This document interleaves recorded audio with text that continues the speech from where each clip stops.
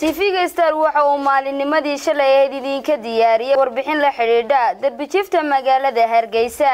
Haatana waxaan idiin haynaa warbixin kale oo aanu ku wareysanayno. Maamulaha xarunta dhaqangelinta iyo daryeelka darbijifta magaalada hargeysa. Ugu horeyna waxaanu wax ka weydiinay maamulaha xaruntaasi basre maxamed. Intii ay xaruntani dhisnayd iyo waxyaabihii u qabsoomay horta carruurta in hoy ay helaan marka koowaad marka labaad inay cunto helaan marka saddexaad inay waxbarasho helaan. Caruurta saakadan hadlayna waxaa ku jira saddex iyo sagaashan caruura. Lix iyo toban waa gabdho toddobiyo tobaatana waa wiilal ilmo kasta wuxuu leeyahay personal file buu leeyahay. Magaciisoo saddexan magaca hooyadii oo saddexan xaafadda magaalada hargeysa xaafadday ka degan yihiin asalaalanu ka yimi. Dhanka kalena waxaanu ka weydiinay iyo carruurta da-dooda sidoo kalena iyo dhibaatooyinka ay kala kulmaan caruurtaasi iyo adeegyada ay u baahan yihiin. Da-dooda waxay udhexaysaa lix iyo toban ilaa shan jir waxaa ka mid horta muddaha muddo saddex saddex bilood ah ilmahan si qof caadi a ulama dhaqmi kartid waayo maba joogo dareenkiisii qofnimo.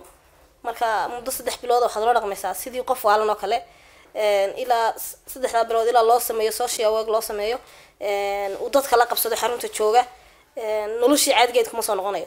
Laakiin ilmaha haddii saddex bilood gacanta lagu hayo oo uu dareemo dadnimadu waxay tahay marka dambe wax noqonaya ilma caadiya si dadka caadiga u nool. Okay saad u aragtay iskuulku waa laba galaas caruurtii labadaa galaas ka baxday waxay u baxaan iskuul iskuullada dibadda iyo kudhowda carqalada ka haysata.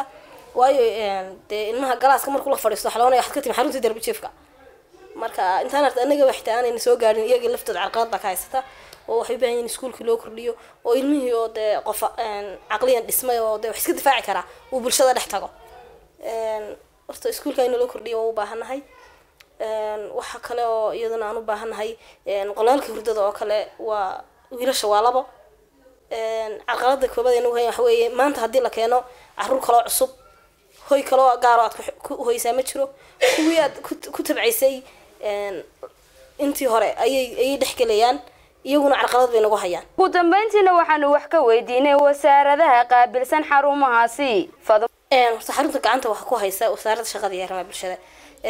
Iyadaana wixii baahiyada xarunta fulisa hadday quudin noqoto hadday wax caafimaad noqoto hadday waxbarasho noqoto hadday dhar noqoto. Laakiin carqalad baa jirta oo caruurtan markooda horey ku noolaayeen streetka may may ku tababarmin kaba xidhaan marka inaad soo aragta laga yaaba ciyaal cagacad. Lakin waxaa laga yaaba ilmaha cagacad ku jira galaaska inay kabihiisii qolkiisii horyaalin markaa taasi horta waa tarbiyad saa ka dhiman. Ismaaciil muuse faadamariya telefishinka star t v magaalada hargeysa